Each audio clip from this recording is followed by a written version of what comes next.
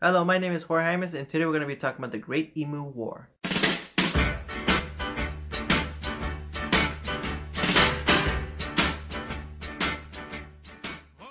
This war was a conflict between the Australian government and emus.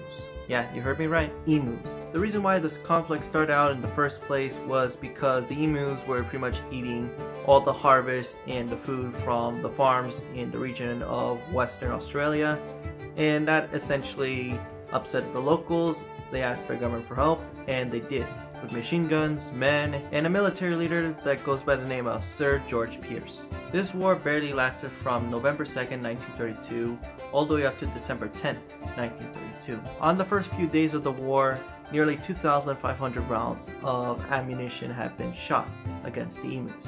On the emu side and the casualties, only around 50 emus have been reportedly killed according to one report. The locals attempted to set up an ambush against the emus, but that abruptly failed.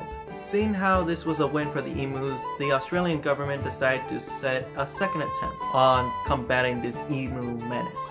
On November 13th, the Australian army launched a second attempt to combat the emus, and they were actually pretty successful. One report claims during the second attempt to combat the emus, it's been said that the Australian army used around 10,000 of ammunition to retaliate against the emus and the emu's casualties were around 1,000 either killed or injured in the hard-fought battle between one another. Unfortunately for the Australian government, the emus were too much to bear and eventually they just pretty much surrendered and gave up against the war on emus. The locals of West Australia asked their government for help in 1934, 1943, and 1948.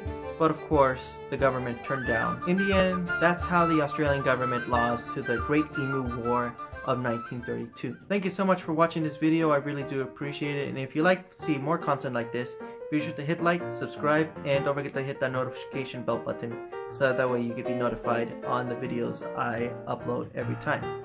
So thank you so much for watching and stay tuned for more.